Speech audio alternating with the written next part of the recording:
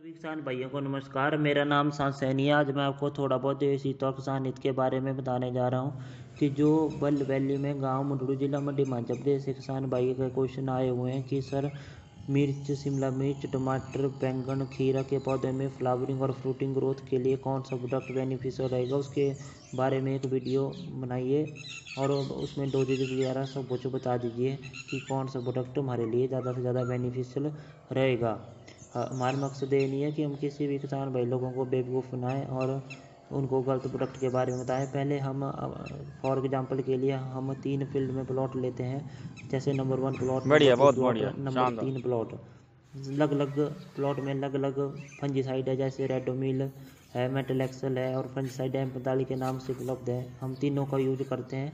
जो जिससे बेनिफिशियल रहेगा जो इसके रिज़ल्ट अच्छे रहेंगे उसको हम वीडियो में डालते इस हैं हिस्से में करते हैं हमारा मकसद ये नहीं है कि किसी लगा हुआ था कीड़ा। लोगों को बेवकूफ़ बनाए हम अपने कल हमने यूज़ स्प्रे करते हैं और तो फ़ील्ड ट्रायल के माध्यम से नियर बाय जितने भी एरिया वहाँ पे। फ़ील्ड ट्रायल भी देते हैं और डेमोस्ट्रेशन भी देते हैं। उनकी खेती में यदि उस, जो प्रोडक्ट है, उसका रिज़ल्ट ठीक रहेगा तो हम वीडियो में डालेंगे और शेयर करेंगे।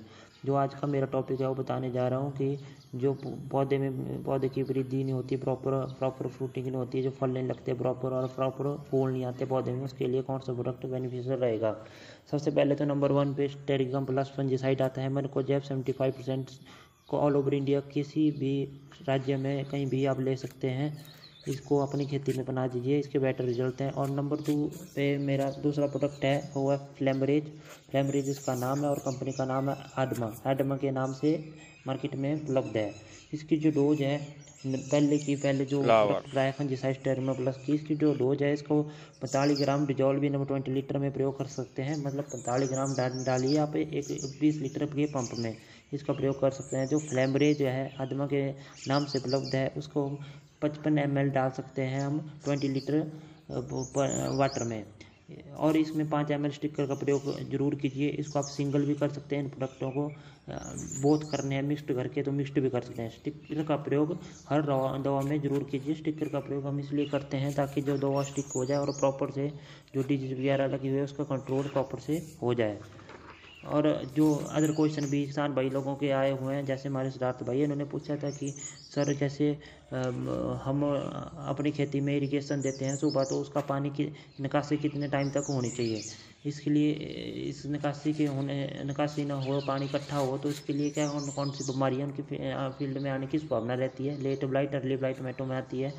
यदि हम निकासी नहीं करें प्रॉपर ढंग से तो लेट ब्लाइट और अर्ली ब्लाइट का आने का बहुत ज़्यादा टैक रहता है। इसलिए सभी किसान भाइयों से आग्रह करना चाहता हूँ। फॉर एग्ज़ाम्पल कि सुबह नौ बजे सिंचाई करते हैं किसी भी फ़ील्ड में चार बजे आप प्रॉपर निकासी कीजिए प्रॉपर ड्रेनेज कीजिए फ़ील्ड में, वहाँ पर कोई भी पानी इकट्ठा नहीं होना चाहिए। उसके बाद जो पौधों को वृद्धि के लिए जो पानी की तत्व की ज़रूरत होती है, वो उसने ले लिया होता है। उसके बाद जो निकासी है वो कृपया सभी किसान भाई टाइम टू टाइम करें। इससे भी कोई अदर बीमारी आने की संभावना रहती है। सभी किसान भाइयों से आग्रह करना चाहता हूँ कि जो मैंने पौधों की वृद्धि के लिए और फलों की वृद्धि के लिए जो आपको प्रोडक्ट बताए हैं, इसको अपनी खेती में बना के ज़रूर देखें। ये आपके लिए बेनिफिशियल रहेगा। सभी किसान भाइयों को धन्यवाद। मैं अपनी सेवा के लिए टेलीग्राम व्हाट्सएप फेसबुक में उपलब्ध है। आप जब भी चाहे, तब मुझे मैसेज कर सकते हैं।